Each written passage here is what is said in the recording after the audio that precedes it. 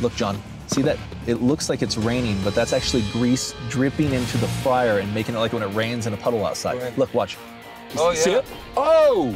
You see it? I've never seen that before. So the dirty grease in the hood is dripping into the fryer oil, so it's in everything that's cooked in that fryer. Shauna, want an order of mozzarella sticks, a couple of um, Swiss and bacon burgers, medium rare. Can't guarantee you medium rare or medium. Well, whatever. That's cooking 101. Right. All right, so we got a few hamburgers going down. Do you see the fryer? I do. It's bubbling. There is a layer of gunk on the bottom of that fryer that is not allowing it to fry properly. There's that. Okay, well, she's eating. Look at look on her face. Yeah, she's chewing that over. Oh, you know how when you have that mozzarella that's so hard She can barely swallow this. while she's still chewing. She's been chewing 20 seconds. 30 seconds, the same bite. Hold on. This is a world-class chew. She's in 40 seconds. Are we gonna make a minute? The one minute chew, here we go. Yes! The one minute chew! I'm not sure I can eat that. Maybe the burgers will be better. Hopefully. Uh. Okay, so one of the reasons last night that your mozzarella sticks weren't frying crispy was because there is a layer of gunk in here. Oh my gosh. All of this. God, that's nasty. This grease is disgusting. The first thing they're gonna do is clean this freaking fryer. The fryer can work properly if it doesn't have five inches of scum on the bottom. That's what's going in the food each time you're frying. It's a wake up call, that's for sure. Kitchen's open tonight? Yeah. So we'll have an order of sliders. If they want something, then you just put it in, and Justin will have to make it. The whole thing?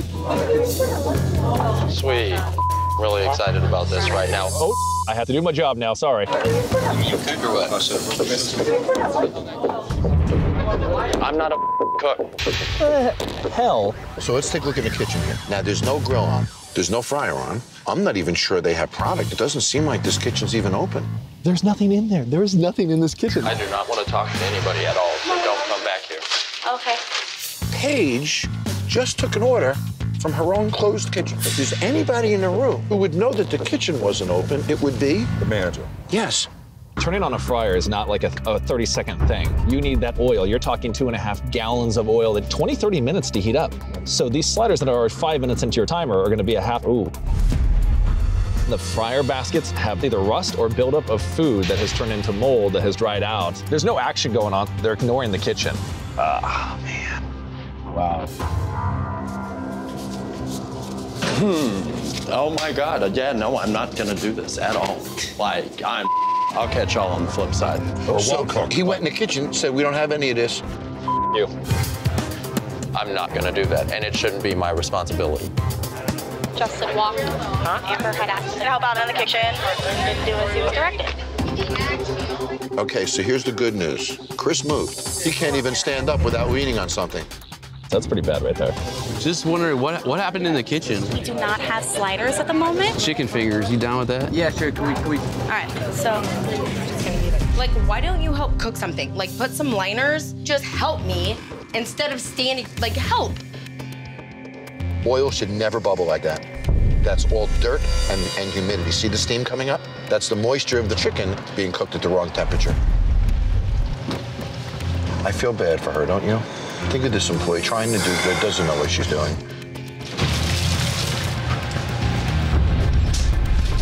You couldn't get me to eat something fried in that fryer. That chicken's already out of the fryer. From a frozen product in an under temperature fryer, there's no way that that chicken is ready. This is bad. We can't let anybody eat that. Would you go in and just check the safety on this? I got you, buddy. You're gonna serve this, are you? It's cold. Look, look, because the fryer temperature.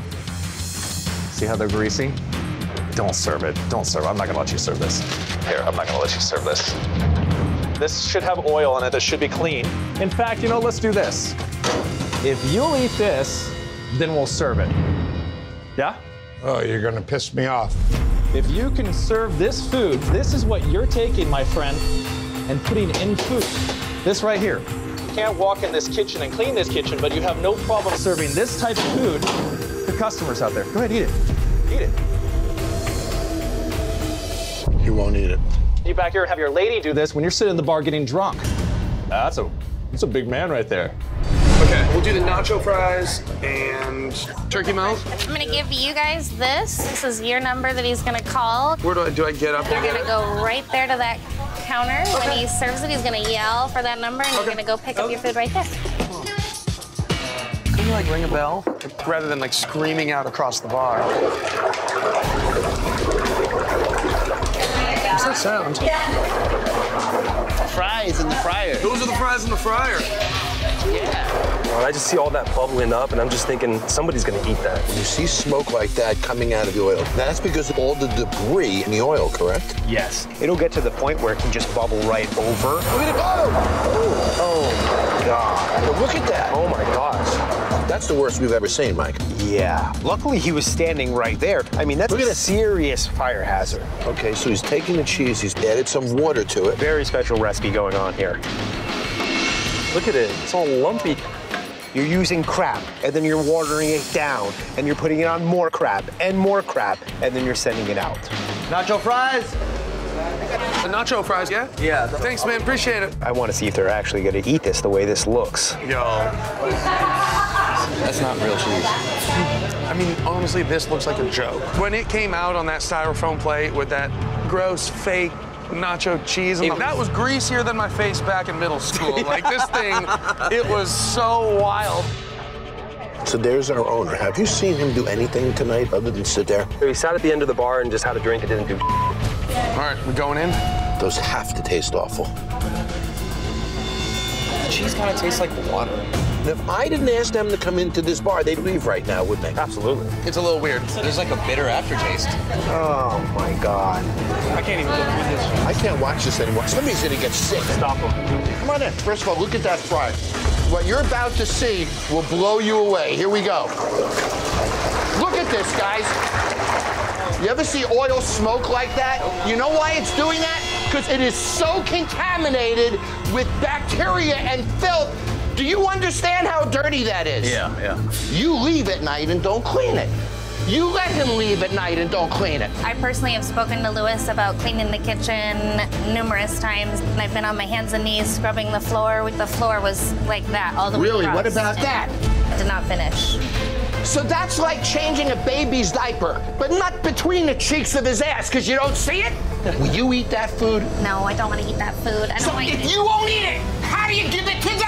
My stomach hurts. I feel like I can't believe I just ate this nonsense. Is that, is that chicken on the trash can? I think he has chicken just sitting on the trash can. Wow. There's raw and cooked food everywhere. Raw chicken right now in the sink. That's your dish sink. That's your dish sink. And she's rinsing the chicken. Okay, now let's see what she does with her hands after this. It's dripping right on the table. Yeah. So if our rule is here 12, 14 hours a day, what the hell is he doing? It's not draining him. This is the slowest Mother's Day we've had ever, child, since I've been here in 10 years. And we can't do our job. He's not cleaning the kitchen. He's not organizing the kitchen. He's not cleaning the kitchen. What the hell does this guy do all day? You have a lot of nerve, ma'am. You have a lot of nerve, ma'am. Now that wet chicken is going in the fryer. Yeah, and wait till you see this fryer. Look at this foam or froth. Look at that. Look at the foam. Oh my God, I've never seen it that bad ever. I've never. That tells me the bottom of the fryer is not being cleaned. So all that stuff is kind of floating to the top. Gross. So if you were Ramiro and put up 300 grand and was losing $6,000 a month, and that's the way Raul cleaned your kitchen, would you be okay with that, chef? Not at all.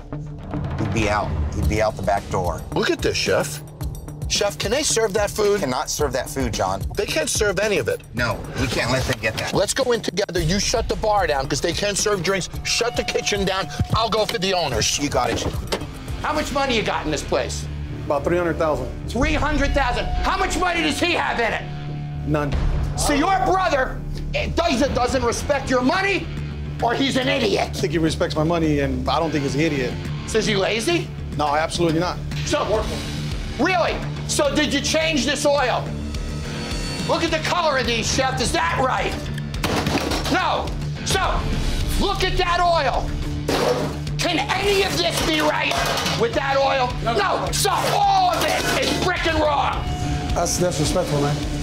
You did is disrespectful to your customers. I'm, I'm trying to do what I can do. You're I'm- gonna I'm- get I'm- somebody I'm, sick. I'm one guy in here trying to do what I can do. So are you They're a saying- wimp? they're saying- you an idiot? they're saying- Are you lazy? They're saying I'm too What hard. exactly are They're saying I'm too hard on these people. I'm trying to do the best I can do, the best I know how to do. And yeah, we're up tonight. So the best you can do sucks.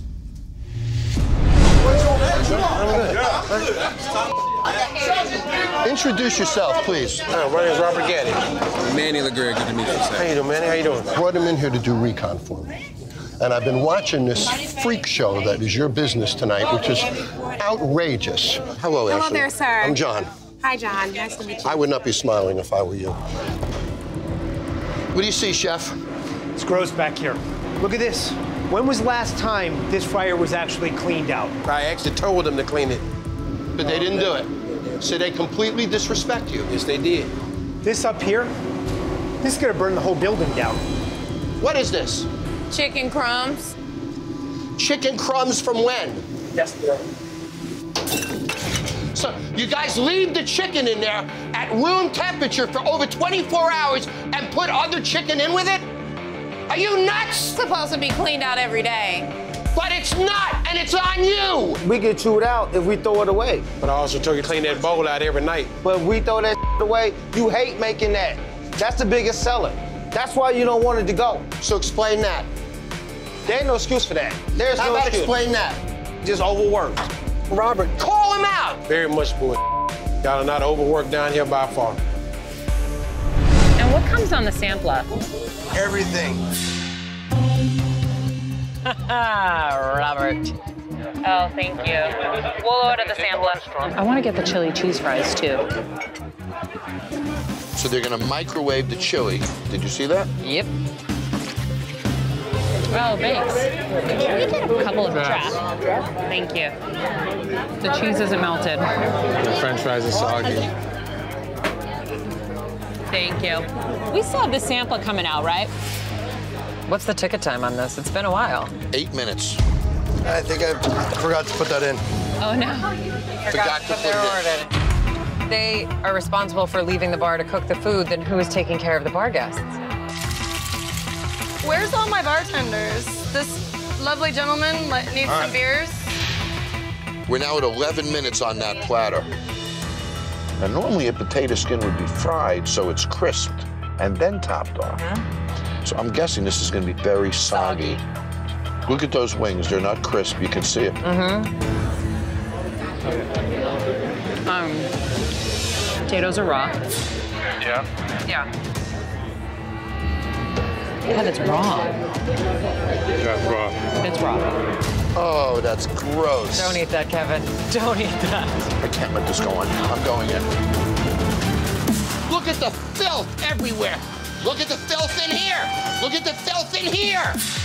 It just keeps getting better, guys. This is your future. Look at it. Look at the sludge on the bottom of this grease.